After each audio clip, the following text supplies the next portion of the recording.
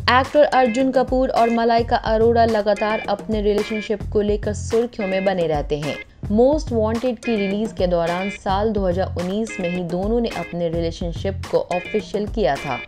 हाल ही में अर्जुन कपूर ने एक इंटरव्यू में खुलासा किया कि उनकी गर्लफ्रेंड एक्ट्रेस और टीवी पर्सनालिटी मलाइका अरोड़ा उन्हें सबसे अच्छे से जानती है। अर्जुन ने कहा कि वो बिना उसे बताए उनकी मन में चल रही बातों को आसानी से पहचान सकती है। रेडियो होस्ट सिद्धार्थ कनन से बातचीत के दौरान अर्जुन ने उस शख्स का नाम बताने को कहा, जो उन्हें अच्छी तरह से जानता हो। अर्जुन ने जवाब दिया, मेरी गर्लफ्रेंड मुझे अच्छी तरह से समझती है।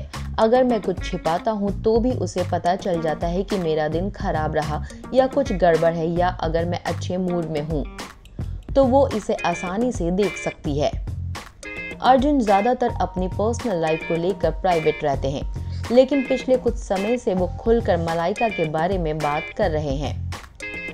पिछले महीने फ़िल्म कंपेनियन के साथ बातचीत में जब अर्जुन से पहली शादी से बेटे के होने और अपनी उम्र से बड़े उम्र वाले को डेट करने के बारे में पूछा गया था तो उन्होंने कहा, मैं अपनी पर्सनल लाइफ के बारे में खुलकर बात करने की कोशिश नहीं करता, क्योंकि मुझे लगता है कि आपको अपने साथी का सम्मान करना चाहिए और वहाँ उनका एक अतीत है। और मैं उस स्थिति में रहा हूँ जहाँ मैंने देखा है चीज़ें सार्वजनिक रूप से सामने आती है और ये हमेशा बहुत अच्छा नहीं होता है, क्योंकि बच्चे प्रभावित होते हैं।